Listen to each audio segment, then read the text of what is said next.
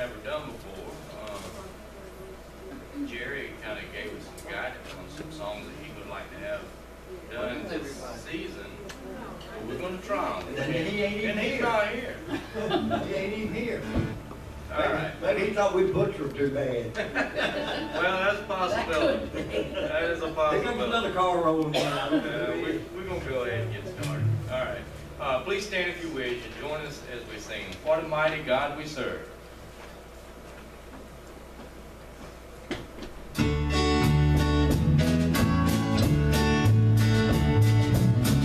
What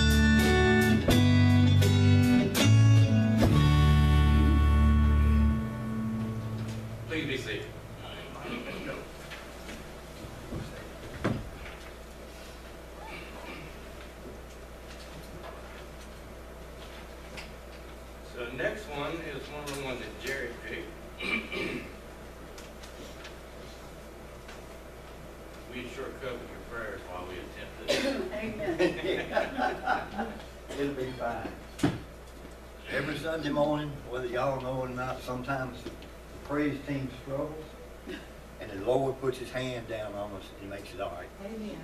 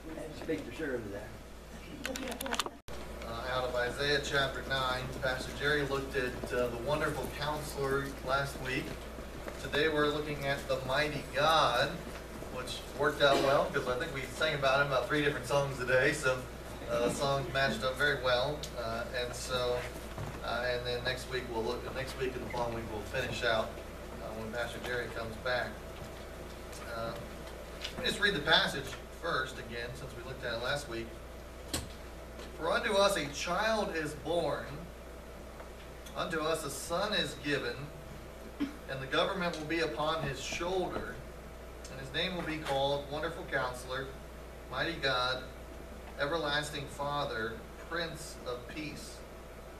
Of the increase of his government and peace there will be no end upon the throne of David and over his kingdom to order it and establish it with judgment and justice from that time forward, even forever. The zeal of the Lord of hosts will perform this. So we're going to look at it from kind of the Old Testament perspective, then we'll look at what does the New Testament have to say about uh, this idea of the mighty God. Now, one of the weird things about Isaiah 9 is almost every messianic passage in the Old Testament is directly quoted in the New Testament. You know, Isaiah 7.14, Matthew says, and this is to be fulfilled about Jesus. Isaiah 9.6 is never quoted in the New Testament about Jesus. So it is a little bit of a strange thing that never happened, but we're going to see there's a lot of connections uh, that come from this. But first we're going to look at what does this term mighty God even mean? Uh, in Hebrew, it's El Gabor. El is the common name for God in the Old Testament. You know, you have El Shaddai, El Elohim, all different kinds of godly names that begin with El. Uh, it wasn't just the, what, the way that the Jews called God, it was just the general name for God. The, the Canaanites called their gods El and these kind of things. And think of it like the general term God. When we say God, we mean the Christian God, but if you're talking to a Muslim person and they say God, they mean the Islamic God or whatever, you know, these kind of things. And so it was a general term for God. Uh, and then Gabor, the, we translate it mighty or powerful. It's used with God throughout the Old Testament. You see this in Deuteronomy and Psalms, Jeremiah, Zephaniah. But maybe the more important one is in the next chapter. In Isaiah chapter 10, it says, The remnant will return, the remnant of Jacob, to the mighty God. And in that context, it is talking about what we would today call God the Father. And so when we look at this passage and we see, well, who is this child? It becomes clear this is not an ordinary kid. This is not a person who was going to be born in an, in an ordinary way. There's something special about this child. He has the qualities of God. He is mighty like God is mighty, and he is even called God in, in, in the passage. Uh, and so, how exactly does that work uh, in terms of the life of Jesus?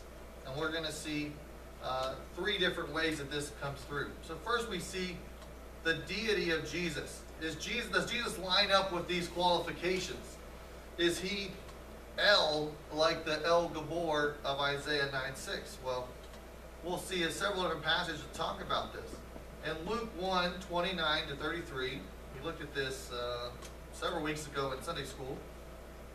This is the story where Gabriel comes to Mary if you remember the Christmas story and tells her, hey, you're going to have a son, and she's like, well, how is that going to happen? Uh, I don't know if, how angels' biology works, but uh, as humans, uh, it doesn't happen that way.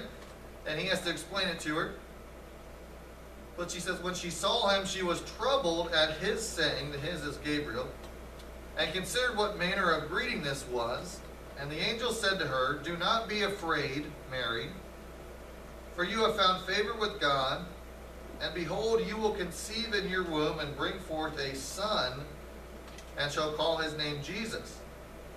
He will be great, or mighty, if you wanted to call it that as well. And he will be called the Son of the Highest. meaning he will be the Son of God. Uh, and we'll see this in other passages as well. And the Lord God will give him the throne of his father David. Uh, and so I think Luke is clearly connecting this back to Isaiah 6. He's going to be called the Son of God, and he's going to be in the line of King David. And we saw that in Isaiah 9, 6, and 7. He will reign over the house of Jacob forever, and his kingdom there will be no end. I'm not going to talk about the forever stuff because Jerry's going to talk about that next week, because the everlasting father. But uh, we'll see. So, right off the bat, in the New Testament, they come to Mary and they say, Hey, you're going to have a son. And she's like, Well, that's going to be interesting. Uh, and he's not only going to have a son, you're going to have God's son. And she's like, Well, how?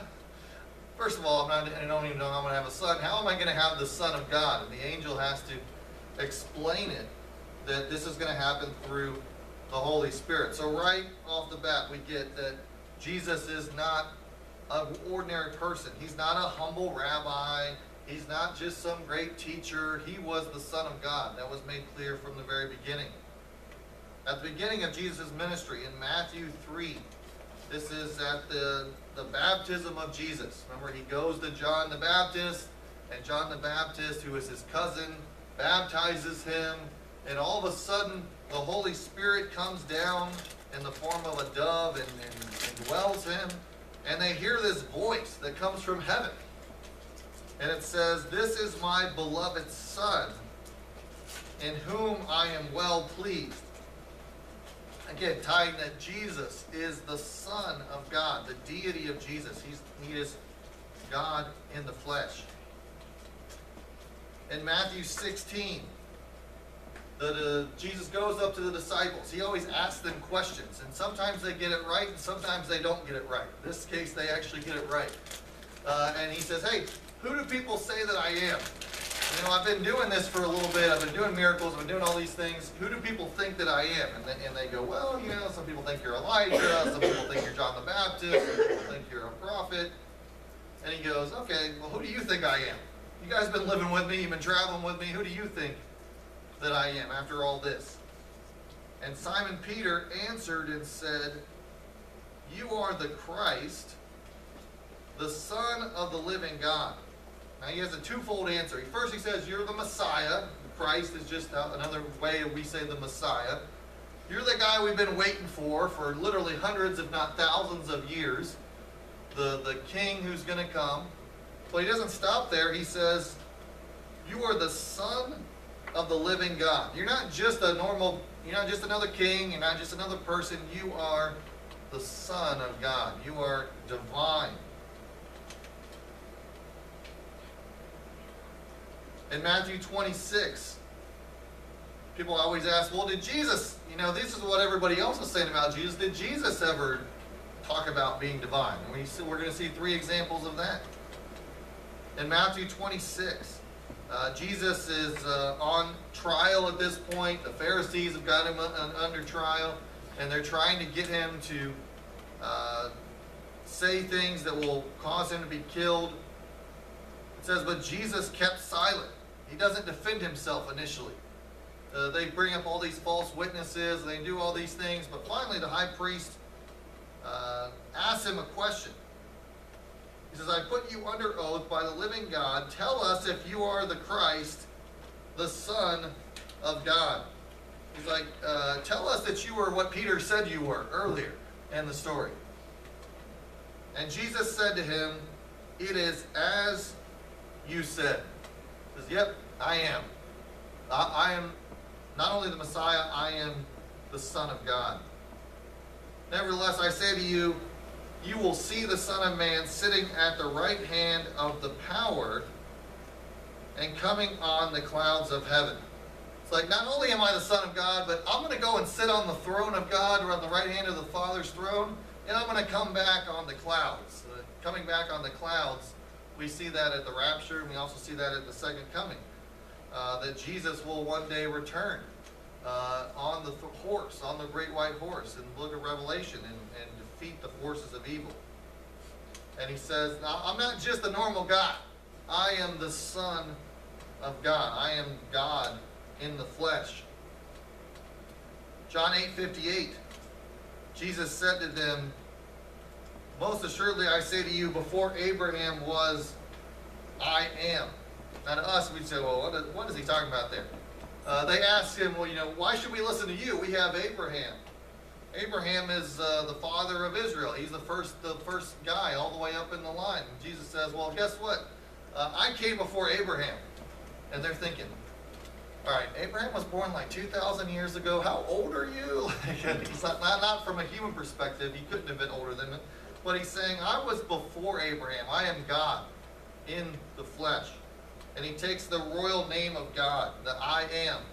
Uh, when Moses goes up on Mount Sinai with the burning bush, and he, and he he's confronted with God by God, and he says, "Well, how am I? Who am I supposed to tell the people what's your name? We don't have a name for you, God." And he says, "I am." So Jesus says, uh, "Hey, I am. I am God, just like the God of the Old Testament."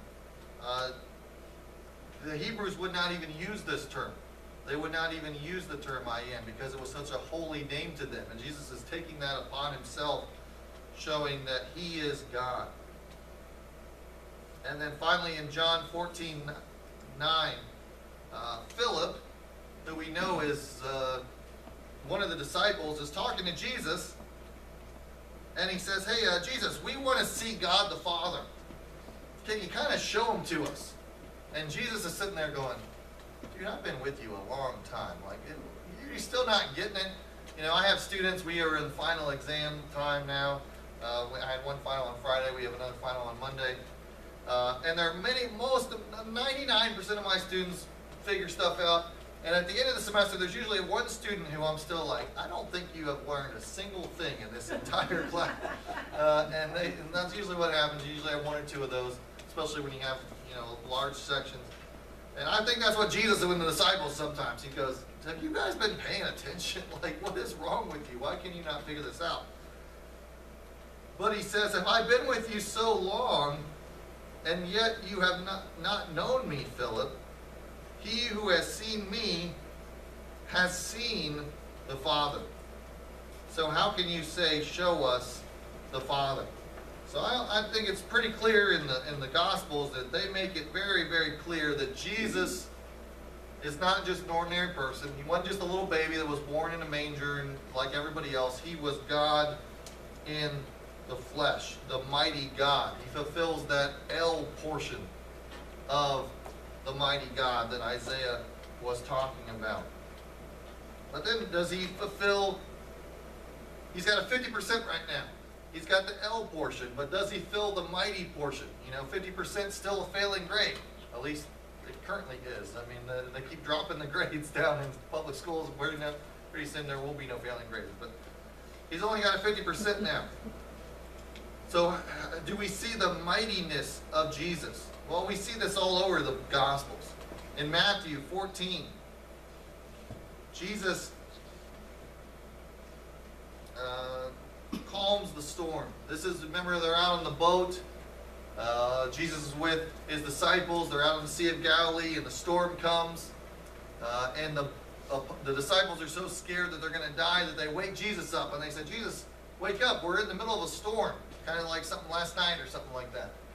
Now, this is not, you know, me out on the boat with Jesus. I am not a fisherman. I've went fishing several times and I've never caught a fish. I must be doing something wrong. Somebody's going to have to show me how to do this or something. Uh, and I'm not great on boats. I kind of get seasick unless it's a big boat. Uh, but these are professional fishermen. Remember, Peter and James and John and these guys. So you know how bad this storm must have been for professional fishermen to go, uh, yeah, we're going to die, Jesus, if you don't wake up and do something here. And Jesus stands up and just goes, All right, uh, storm, stop. And it stops. And the disciples are looking around going, uh, What just happened? like, we thought you were going to help us. We didn't realize you had the power to stop a storm. And so they said, Truly, you are the Son of God. His power, his might over nature. Then we see in John 11 that Jesus has the might over death. This is the story of Lazarus. Uh, Jesus is out preaching and teaching, and uh, he gets a messenger, and they say, Hey, uh, Jesus, your friend Lazarus is dead, or not dead, is sick, is very sick. He's on his deathbed, basically. Uh, and Jesus in 11 John and 11 4 says, when he heard this, he said, This sickness is not unto death, but for the glory of God, that the Son of God may be glorified through it. He's like, he's not going to die. It's good. He, he's sick so that when I heal him, people will know that I am the Son of God. They'll see my power. And the disciples are like, oh, good. And then they get there, and Lazarus is dead. And they're like, well, how's this? Well, Jesus, uh, you said you were going to heal him, and now he's dead. Uh, what's going on here? Uh, and even Mary and Martha show up, and they're like, hey, Jesus, where have you been? We sent for you like days ago. Lazarus is dead now. What in the world is going on? We thought you could heal this guy. We thought you could heal our brother. And Jesus is like, well, I'm going to heal him. And they're like, yeah, yeah, yeah, we know you're going to heal him at the end of history and all this. And he's like, no, no, no. He like goes over to the tomb and brings Lazarus back from the dead, showing that he has the mighty power over the grave itself. That even death cannot stop Jesus. The people around Jesus saw his might. Even the Pharisees see this. In John 3, you have the story of Nicodemus. He is a, a Pharisee. Remember, he's one of the religious leaders that is kind of going against Jesus in some ways. And it says that he comes to Jesus by night. He doesn't want to be seen with Jesus. Remember, they don't have uh, TikTok and uh, all the phone things. You come at night, people can't see you. There's no electricity. Uh, you can kind of hide away in the corner and nobody can see you. So he comes to Jesus by night and he says to him, Rabbi or teacher, we know that you are a teacher come from God, for no one can do these signs or these miracles that you do unless God is with him. So even Jesus' critics at first go, we know there's something different about you. you. You're doing stuff that we can't figure out. I mean, think about the amount of miracles that Jesus did, you know. Uh, we've been going through the book of Luke in Sunday school, and I think we're about 10 chapters in, and we've probably seen 50 miracles in the book. Jesus would go into a town and heal every sick person in the town. We don't know how many sick people there are, uh, probably a lot. And he would do this uh, all the time. He, people would just touch him and be healed. He performed miracle after miracle after miracle. He raised people from the dead. He calmed the storm. He did all these things. And so the Pharisees never try to say, he didn't do the miracles because they couldn't deny him because there's too many witnesses. Everybody had seen this. I mean, he's making lame people walk. He's healing people who have been blind their whole life. He's doing all these kinds of things. And so they're like, we know you're from God because there's no way any person could do this. You, your, your power is too great. Now, unfortunately, if you continue reading the book of John, uh, eventually, in order to get around this, the Pharisees go, well, uh, we don't really like you, and if we say you're from God, people are going to do this, so maybe you're from Satan. Maybe you're doing these things from Satan. Uh, and Jesus even calls them out on it. He says, um, guys, I'm casting out demons. Why would Satan, if I'm working for Satan, why am I casting out demons? It doesn't make any sense. And they stop, you know, doing stuff. Uh, but we see that even his enemies acknowledge his might. And even at his death on the cross in Matthew 27, remember what happens at the cross? It's not an ordinary crucifixion. It gets dark for in the middle of the day. There's an earthquake that happens. There's all this kind of weird, miraculous stuff that happened at the crucifixion. To the point that even one of the Roman centurions, I mean, the Romans were not Jewish, they're Roman, they're pagan, as pagan as you could get even a Roman centurion who had been there sees the earthquake, sees all the things, and says, Truly, this was the Son of God. Like, this wasn't an ordinary person that we just crucified. This guy was the Son of God. And so we see the might of Jesus. He passes the test. He, he's the El and the Gibbor of Isaiah 9 6. But what is interesting in the Gospels, and, and we'll spend a little bit of time here today on this, is that while Jesus is the mighty God, he's not only the mighty God, he also has what I call the mighty reversal of God. meaning that Jesus is all powerful, but because of his mission, he, he stops his power. He doesn't always use his, he would never have went to the cross if he did not do that. For example, people were looking for a mighty king, but Jesus came as, as the divine child. In Luke, it says that while they were there, the days were completed for Mary to be delivered, and she brought forth her firstborn son and wrapped him in swaddling cloth and laid him in a manger because there was no room for them in the inn. Jesus, if I was God, I think I would have came down with lightning and thunder and power and been like, hey guys, I'm here. But Jesus didn't do that. He comes down as a little baby. Uh, we never had a baby, obviously, but we have nieces and nephews. We've all held them a lot. Uh, I'm the youngest, and Nallie's the youngest, so we have. I never had a little sister. My little sister is now a dog because my mom and dad got a dog, and they keep telling them that it's my that I'm her brother, and I'm like, this is just a little strange, but uh, whatever. I only got a sister, and uh, it's a dog, but uh, however it works. I do have sisters-in-law, so that that's better than the dog version, but. Uh, but uh, we, you know, carry a little baby around, and you understand, babies are as as frail as humanly possible. They don't feed themselves. They don't even really clean up after their bathrooms. They, you got to do everything for a baby. So God, know, for God to come down and be in the form of a baby is as humbling as you could possibly get. And He does that in order to establish his ministry, and that's the Christmas story. But it doesn't just stop there. People were also looking for a mighty warrior, but Jesus came as the suffering Messiah. In Matthew 26, this is when Jesus gets arrested. If you remember that story, Jesus in the Garden of Gethsemane, and he's praying, and his disciples keep falling asleep. He's like, hey, pray with me. And then like three seconds later, they're all passed out asleep. And he keeps waking them up and waking them up, waking Finally, the Judas comes with the, the guards to arrest Jesus. And Peter, who is uh, always a little, uh, let's just say he does things without thinking, maybe sometimes. Uh, he just whips out his sword and cuts off Malchus's ear. And it's like, uh, yeah, we're, you're not taking Jesus. I'll fight all of you. Now, there's a whole lot of guards, and there's one of Peter. I'm not sure how he thought he was, I mean, unless he was like Jack Bauer or something. I'm not sure how he was going to fight all the guards off, but uh, he, he thought he was going to do it, apparently. But Jesus says this He tells Peter, Put your sword in its place, for all who take the sword will perish by the sword. Or do you think that I cannot now pray to my Father, and he will provide me with more than 12 legions of angels? He's like, Peter, if I wanted to stop this, I could.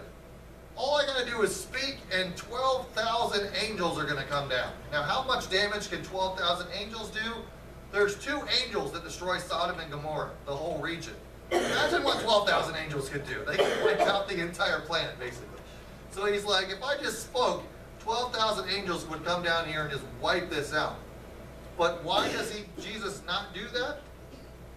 Because he says, how could the scriptures be fulfilled that it must happen thus? Meaning, if I did that, how would I die on the cross for the sins of the world? How would I fulfill and become the suffering Messiah that I was supposed to be if I used all my power to do this?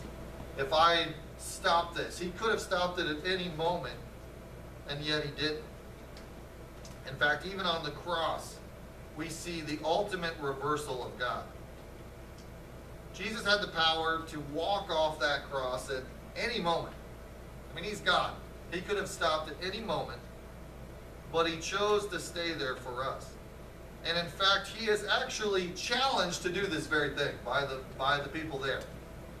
In Matthew 27. It says, And those who passed by blasphemed him, wagging their heads and saying, You who destroy the temple and build it in three days, save yourself. If you are the Son of God, come down from the cross. They're like, Hey, you've been telling everybody you're the Son of God? Prove it. Come down off the cross. And Jesus could have been like, Oh, yeah, okay, you want me to do that? Fine. But then we would have been left to our sins. Likewise, the chief priests also, mocking with the scribes and the elders, said, He saved others, himself he cannot save. If he is the king of Israel, let him come down from the cross, and we will believe him. He trusted in God, let him deliver him. Now, if he will have him, for he said, I am the Son of God. Now, imagine how hard that would have been for Jesus. First of all, he's on a cross. That's already hard enough. He's already been beaten and everything else. If you've ever seen The Passion of the Christ, you know how bad that was, and that's not even as bad as it could be. Otherwise, they would have had to kill the actor guy. He went to the hospital three times when they were filming. Uh, but he's already there. He's about to suffer the wrath of God, and now people are saying, "Hey, if you're really God, come off the cross." And Jesus says, "I'm not going to. I'm going to show my might in a different way. Not because, not by showing you how powerful that I can be, but showing you how much I love you by dying on that very cross." And so we see from Isaiah 9 6, the, the, the mighty God, the El Gibbor, that Jesus was God. That's pretty clear in the gospel. You can't get around that. He was God in the flesh. That little baby that came down, you know, we see nativity scenes all over the place. Uh, you probably have one in your house, you probably have one in your yard, or your neighbor has one in his yard, or you drive by him every five seconds uh, on the street. Uh, we see that little baby uh, at Liberty. We used to have, they, they've changed the nativity scene out when we were in undergrad. Uh, now he's already laughing because he knows the story. Uh, they had a, a, real nice nativity scene, but the Jesus was by himself. It was like a separate piece. Uh, and our students would keep constantly stealing Jesus. In fact, in convo, one of the old pastors would say, please, please bring back baby Jesus, no questions asked. Uh, we just need the, our God back in the nativity scene uh, and that kind of thing. Uh, and so we see that all the time, but we we see him as a little baby, and sometimes we forget that he was, even as a baby, he was the mighty God. He was the El Gibbor. He was the one, the all powerful God. But because of that, he also laid aside his power in order to save us, to die on the cross, to live his ministry, to do all the things that he had to do because he loved us, because he wanted us to spend in heaven with him, and that was the only way if Jesus had gotten off that cross, if he had called down the angels at the at the arrest, if he had done any of that, we would be in a, a lot of trouble. We would not have a way of salvation. And yet Jesus loved us so much that he put aside being the mighty God for a time and said, you know what, I will die on that cross for you and me. Let's pray.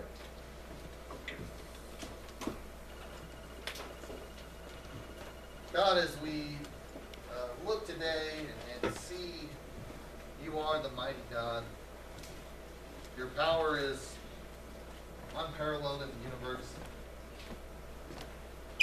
But we're so thankful that for a time and a season you you humbled that power and came in the form of a little baby that one day grew up and died on the cross for us so that we may have our sins forgiven, so that we may be justified by your death for us, and that one day we will spend eternity with you, with the mighty God,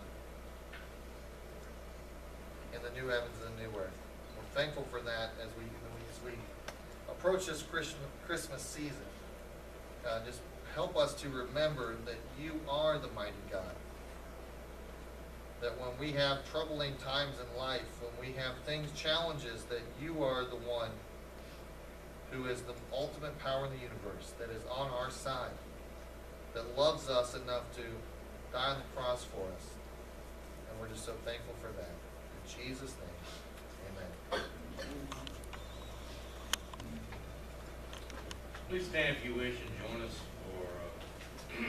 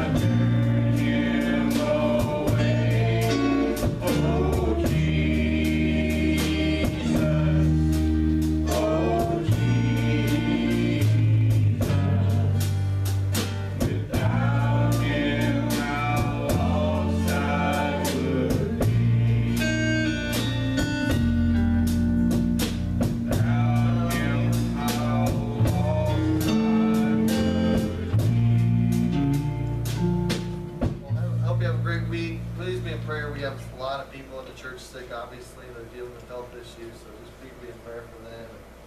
And, uh, where are we going now? Let's do the first song we did. What a mighty God we serve.